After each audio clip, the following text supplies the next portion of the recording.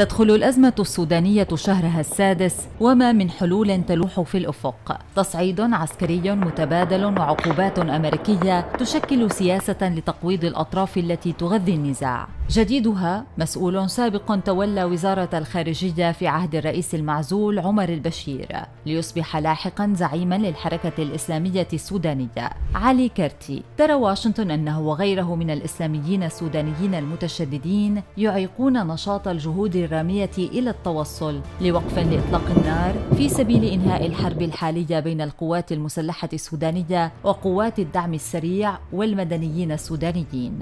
يعرف عن علي كرتي أنه كان قياديا في حزب المؤتمر الوطني المنحل وقائدا لقوات الدفاع الشعبي أو الأمن الشعبي التي توجه إليها أصابع الاتهام لفض اعتصام المتظاهرين السودانيين بالقوة. أطلق عليه لقب ملك الإسمنت في السودان وهو الملاحق جنائيا على خلفية قضايا فساد مالي وحيازة عدد ضخم من الأراضي السكنية دون وجه حق.